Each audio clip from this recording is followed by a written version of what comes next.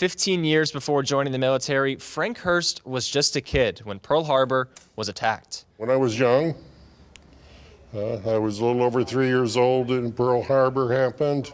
And he says he remembers the years after the attack. I remember six and seven years old, out with my brothers and my sisters, going around pulling a wagon, asking our neighbors for aluminum pots and pans for the war effort. Tonight's ceremony helps veterans like Frank honor the men and women that are not here to remember. We've been there. We've uh, respects actually, like some of it said, and bravery. when we went in and we joined, we essentially signed the commitment of our life to defend this country. And I think that we should be acknowledged and be supported.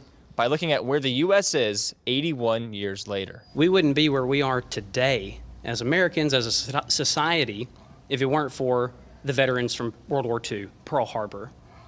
I remember a lot about World War II and how things were. The next designated holiday to honor veterans is not until May, but every veteran I spoke to today says that veterans need to be recognized every day of the year. Reporting live in Fort Smith, Jacob Murphy, 4029 News.